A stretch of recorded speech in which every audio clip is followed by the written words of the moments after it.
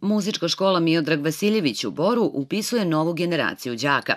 Interesovanje je prethodnih godina bilo veliko, pa je najbolje da se prijava za upis popuni na vreme u sekretarijatu muzičke škole svakog radnog dana od 8 do 14 časova.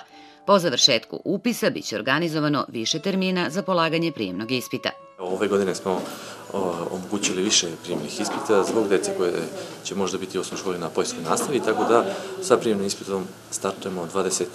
i 29. maja, već u zadnjoj nedelji maja, dakle od 18 časova, zatim 4. i 5.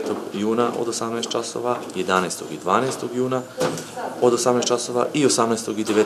juna. Kažem, to smo ove godine tako odredili prosto da bismo pokrili sve učenike, svi će imati mogućnost potencijalni kandidati, a zatim ćemo mi odraditi rang liste.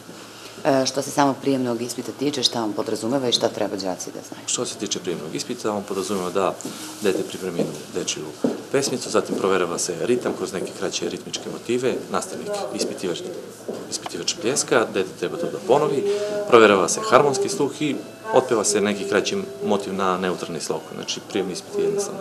Koliko dece završava ove godine e, završni razred u muzičkoj za, i koliko mesta ima za upis novih? Za upis odmah ću reći da imamo oko 40 mesta, to još trenutno ne možemo e, tačno da znamo, oko 40 mesta ćemo imati slobodnih.